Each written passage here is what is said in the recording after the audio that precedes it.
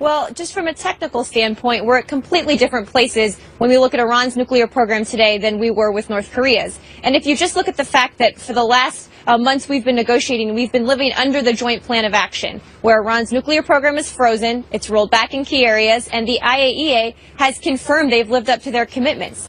State Department spokeswoman Marie Harf on CNN defending comparisons uh, between, or actually saying, hey, hey, it's not the same thing. Iran and North Korea, they're totally different, different situations. With Miranda Khan, J.D. Hayworth, and Skyping in from Washington, D.C., the former advisor to President Reagan and author of the book Reagan at Reykjavik, our friend Ken Adelman. Ken, it is so good to have you back on America's Forum.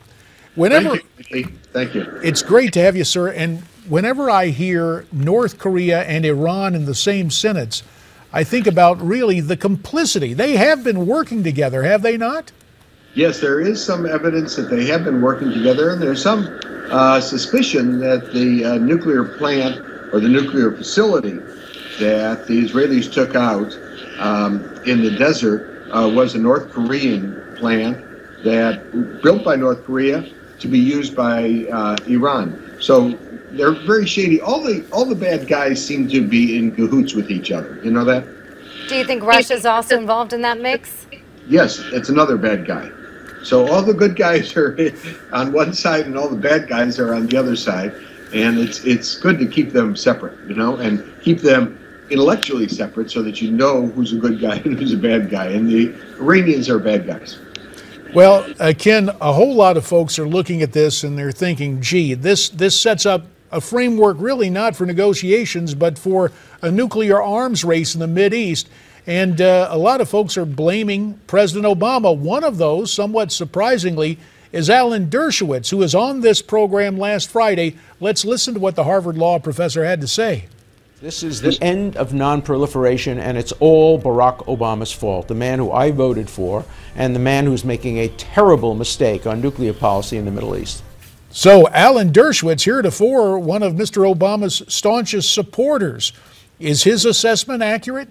No, I think it's very unfair uh, to President Obama. Uh, President Obama is trying to do just the opposite the culprits here are the Iranians. Let's let's keep that clear, okay? And that's why I said before, JD, it's it's good to know who the good guys are and the bad guys. And the bad guys are the Iranians and the Russians and the North Koreans and that whole lot.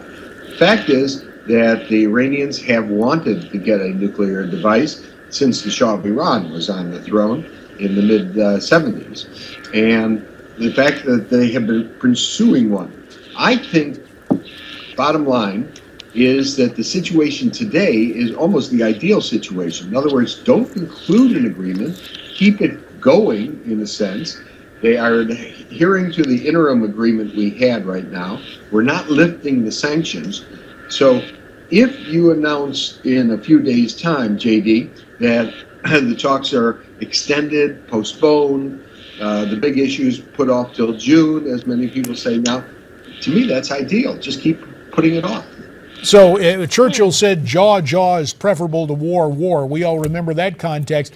But but I'm curious. In your mind, you don't believe this is going to set off a, a, a, nuclear arms race? Saudi trying to get the bomb, and and other other nations in that troubled region. No, if it totally fails, it may do that, JD. If it succeeds, it will not do that because the fact is that there will be a time element uh, for us to know if Iran is doing a uh, building a nuclear device, and that time has to be well used. So the the whole agreement is to give a year's warning time, wake up time. Okay. What do we do in that time? Well, that depends a lot on the Europeans. So there has to be two negotiations, one with the Iranians and one with the Europeans. And with the Europeans, it has to be clear that if the Iranians are shown to build a bomb during that time, we will impose not just today's sanctions, but even tougher sanctions on Iran. In other words, the stick has to be there. And so many of these times in these negotiations, you get something that sounds good, but if they violations, which they certainly were with uh, almost every one of these bad guys, and you need to have the good guys go and really slap on harder sanctions than ever. So you have to have the Germans and the French and the English and the Italians and all those to agree that if Iran, Iran goes and breaks the, their understanding, that the sanctions will be worse than today. And uh, that is one of the good guys right there, Ken Adelman. His book, once again, Reagan at Reykjavik. And we appreciate Ken's assessment. He says, keep talking. Got to have a framework. Just keep dragging it out. Well, we'll see what happens Yeah. there. Uh, We're going to be right back to talk about the Boston bomber trial with